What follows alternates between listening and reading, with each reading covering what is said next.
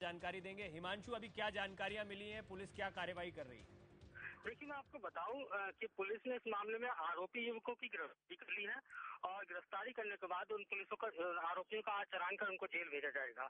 इस मामले में अभी लड़की से जो है लड़की को किशोरी को कॉन्फिडेंस में लेकर उससे बातचीत हो रही है और उससे जानने की कोशिश की जा रही है कि पिछले एक साल में आकर उसके साथ इन आरोपियों ने कितनी बार जो है वो दुष्कर्म किया ब्लैकमेल करते हुए। और पूरे घटना को जो है वो की सत्यता क्या है और इस घटना को किस समय शूट किया गया ये सब जानकारी जुटाने की कोशिश की जा रही है।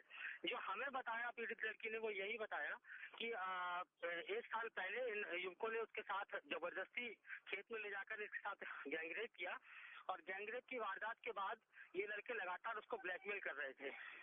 इस घटना को जो है वो जब गाँव में इस बात की सुखबुगाहट उठी तो इस लड़की को इन्होंने दोबारा पकड़ के और उसको असलाओं के बल पर इसको धमकाने का प्रयास किया और धमकाते हुए भी एक नया वीडियो बनाया, नया एमएमएस बनाया और उस वीडियो को वायरल कर दिया।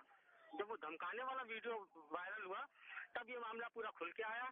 परिजनों ने जो है इसकी तहरीर दी लिखित लिखित शिकायत पर एफ़ आई आर दर्ज हुई पटवारी थाने में और उसके बाद इन दोनों आरोपियों की गिरफ्तारी हुई है। जी।